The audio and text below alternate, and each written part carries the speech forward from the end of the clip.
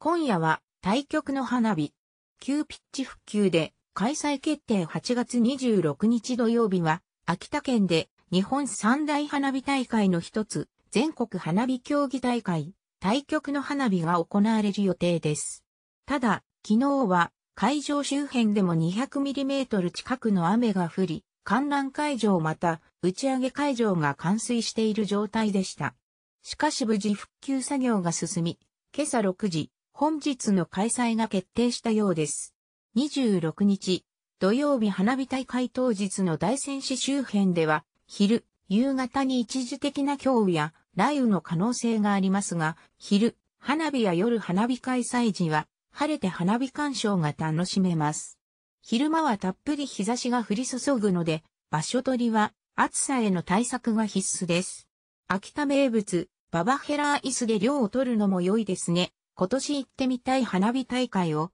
ウェザーニュース会員と調査したところ、隅田川花火大会に次いで第2位。全国でもかなり注目されている花火大会です。見どころ全国から選び抜かれた27人の花火師さんが日本一を目指し、精魂込めて制作した作品を打ち上げます。